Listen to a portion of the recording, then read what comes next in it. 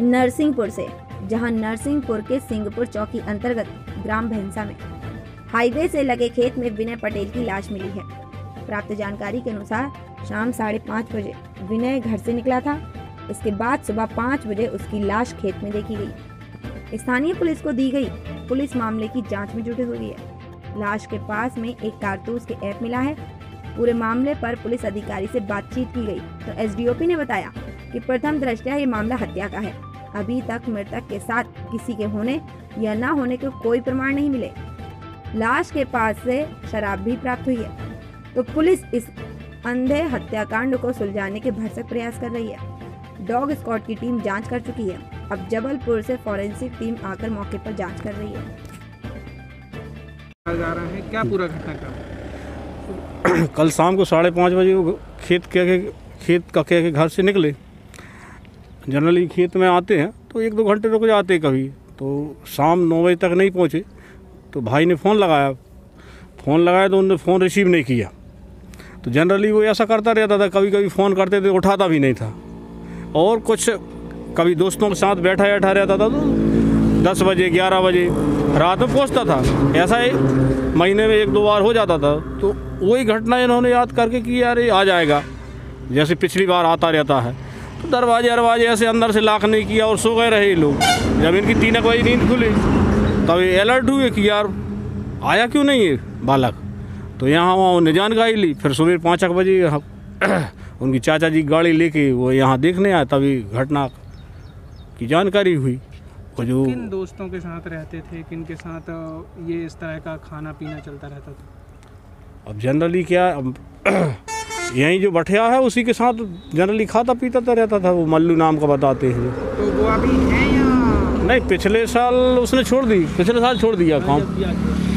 क्या जनरली मैं तो क्या है, मेरा क्लिनिक है उमरिया में तो जनरली तो मैं वहाँ रहता हूँ। रेसिडेंस मेरा नरसिंहपुर में है। जब मेरे को सवेरे ना ये नॉलेज हुआ फ़ोन यहाँ से गया कि ऐसी ऐसी घटना तब मैं आया। कुछ कारतूस के खाली का खाली खाली वहाँ एक खोखा मिला हुआ कारतूस का। गोली भी लगी हुई है। गोली लगी है नाक और आँख के बीच में। उसी का निशान है तरह की रंजिश या कोई नहीं नहीं इस इस तरीके का तो पिछले वर्षों से अरे अभी तो पुराने बीसों वर्षों से भी किसी से ऐसी लड़ाई झगड़ा किसी से नहीं। इस टाइप का कि भाई कोई जानलेवा हमला करेगा कि पुलिस का व्यवहार और केस पे पुलिस का रवैया नहीं नहीं पुलिस वाले तो पूरा सहयोग कर रहे हैं। एक ग्राम भैंसा पाला के शिवराज सिंह पटेल कल शाम को साढ़े पाँच बजे घर से निकले थे और हमेशा वो खेत आते थे। उनके खेत में फ़सल गन्ना की लगी हुई है। उसको देख रेख के लिए हमेशा आना जाना उनका होता था। कल शाम को वो साढ़े पाँच बजे घर से निकले थे, उनके पिताजी का कहना है। और उसके बाद में रात में जब वो नहीं आए तो नौ, साढ़े नौ बजे करीब उन्होंने मोबाइल लगाया तो मोबाइल स्विच ऑफ़ आया था। उनकी बात नहीं हो पाई। जब आज सुबह उन्होंने जाकर देखा तो उसकी डेड बॉडी वहाँ पर, उन्हीं के खेत पे पाई गई है, जिसके नाक पर खून लगा है, काफ़ी आँखों पे खून लगा है और एक छेद है नाक पर, और साथ में एक ब्लड वहाँ पर खोका मिला है। इससे लगता है कि उसकी हत्या गोली मारकर की गई है। तत्काल सूचना पर वरिष्ठ पुलिस अधीक्षक महोदय और अतिरिक्त पुलिस अधीक्षक महोदय मौके पर पहुँचे। एफएसएल प्रभारी जो है जौलपुर से आ रहे हैं, उन्हीं का इंतज़ार कर रहे हैं और पंचनामा कार्रवाई कर अपराध कायम किया गया है और इसकी आरोपी की तलाश की जा रही है। सर ये अ, मतलब कहा जा रहा है कुछ शराब के डिस्पोजल वगैरह भी मिले हैं।